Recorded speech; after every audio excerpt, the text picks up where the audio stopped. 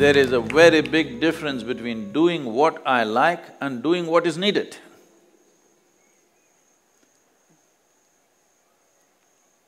When you start doing what is needed, there is no such thing as what is it that I like and what is that… what is it that I do not like. If you just transcend this one thing, that I like something, I dislike something, if you just transcend this one thing, ninety percent of your spiritual work is over. That's all.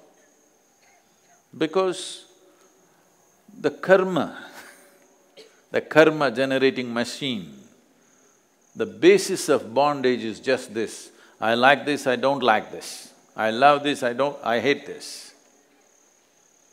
Once you divide creation like this, your ability to touch that dimension which we call as the source of creation is out of reach for you. I want you to pay attention, all the children also, okay? Hello? All of you should pay attention to small things. A blade of grass, a leaf, an ant. You paid… you saw an ant? Huh? Really closely, you must look at an ant. Whoever made this ant, whoever made this ant, has it been made… made with meticulous attention or simply, okay, just a bloody ant? Huh? What do you think? Very well made? Well made or no? Very well made, isn't it? Fantastic ant actually, not just a bloody ant. So if the creator, if the source of creation is willing to pay that much attention to a tiny little ant, who the hell are you to decide what you like and what you dislike?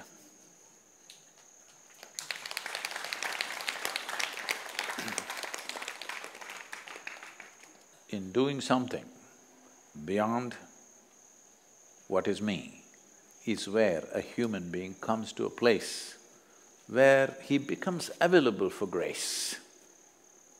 Grace is there. Question is, are we available? We like this, we don't like this. You like a cockroach? Why?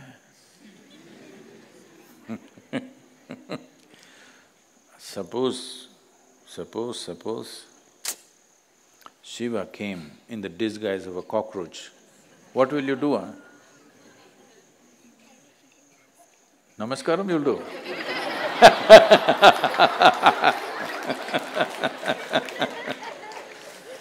But how will you know it is Shiva or just another cockroach, huh?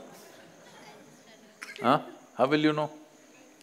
You don't know. So better do namaskaram to every cockroach because who knows which one is Shiva? It's very simple. This is what this culture taught you. You see a tree, oh Shiva. You see a stone, Shiva. You see a dog, Shiva. You see a cow, Shiva. Because you don't know. You don't know today what is his disguise. Better not take a chance, isn't it? Huh? Better not take a chance. At least start with the human beings. You don't know in what disguise he's come today. Huh? Isn't it? Suppose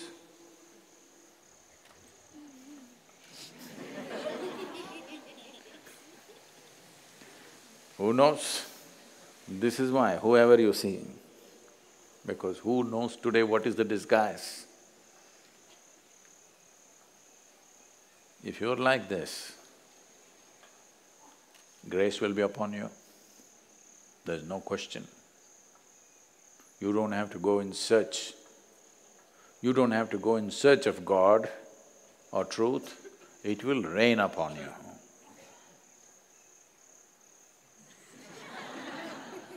It will